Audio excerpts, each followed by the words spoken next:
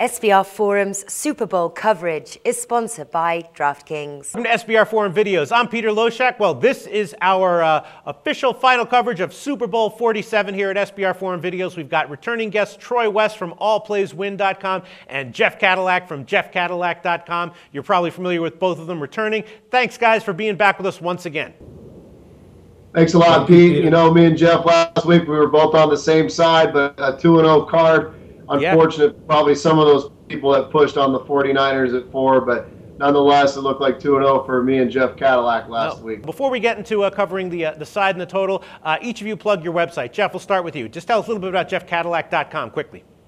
Okay, jeffcadillac.com. I analyze all the NFL games all season long. I post my picks, and it's all free. Absolutely. So it's free viewing, and uh, if you like them, hey, you like what you like and uh, discard what you don't like. Okay, Troy West, all of our regular viewers are very familiar with you and uh, at this point uh, know how great you've been in our videos all year long. Tell us quickly about allplayswin.com, your website.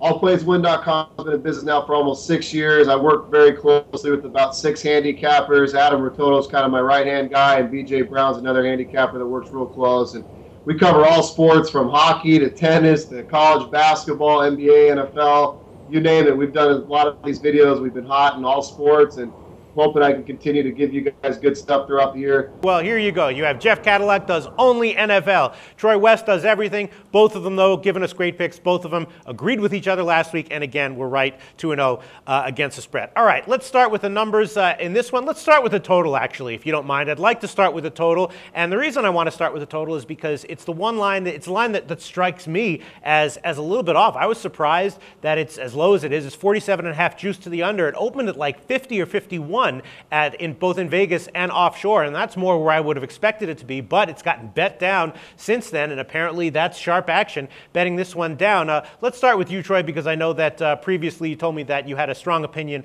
on the total. You like the over just like I do?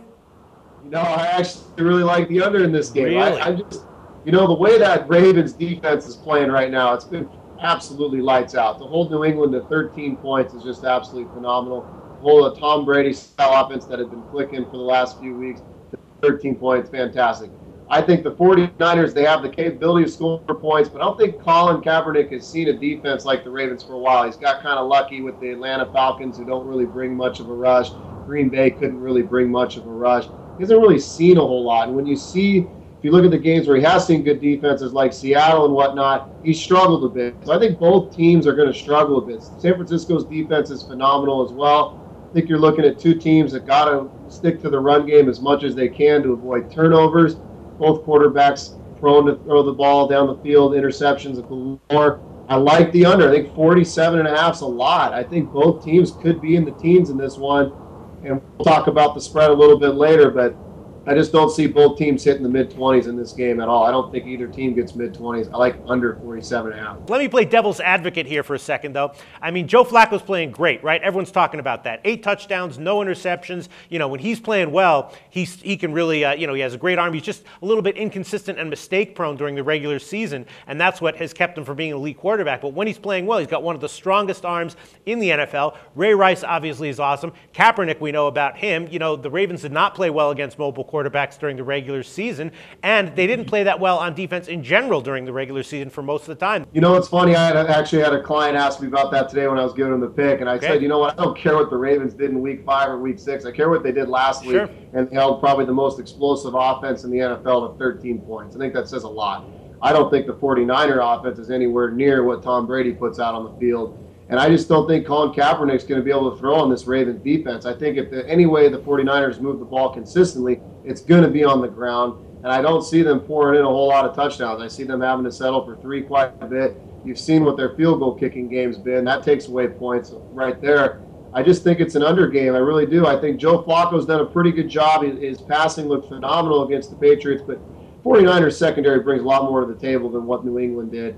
So I think they're going to have a good game plan. You got to remember two weeks to prep for this as well. I think the defense has come out hot in both teams under in this one. All right. Well, yeah. I mean, let's go to Jeff Cadillac from jeffcadillac.com see what he has to say about the total. I mean, in general, betting on the under in the Super Bowl is usually a, a, a good thing to do as opposed to betting on the over. It's just this game, when I look at the matchups, it makes me think that, uh, you know, we're starting to start to see, maybe it'll start off slowly, but that, you know, especially if it's like after 3 nothing after the first quarter, maybe you want to bet an over on the, uh, on the live, uh, live total. What do you think, Jeff Cadillac? What do you make of 47 and a half?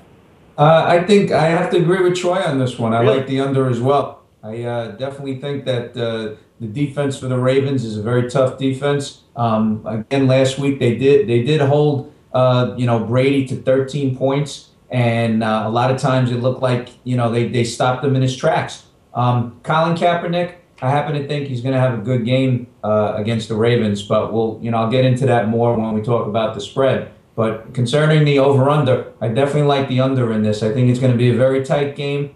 I think it's only going to be maybe, you know, by, you know, a few points here and there. Uh, people are going to be biting their nails, you know, with the spread a little bit. But I definitely like the under. 47 and a half, I think, is a little bit high. And um, concerning the two teams, the defense on, on, you know, a lot of people don't give credit to the San Francisco defense.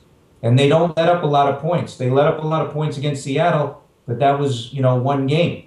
So, uh, you know, I'm looking forward to a tight game, and I'm definitely agreeing with Troy on this. I like the under as well. All right, well, there you have it, folks. I'm leaning towards the uh, over. Jeff Cadillac, Troy West, and all the early sharp action is leaning towards the under. So put that in your pipe and smoke it. Thanks, guys. Let's move on to the spread.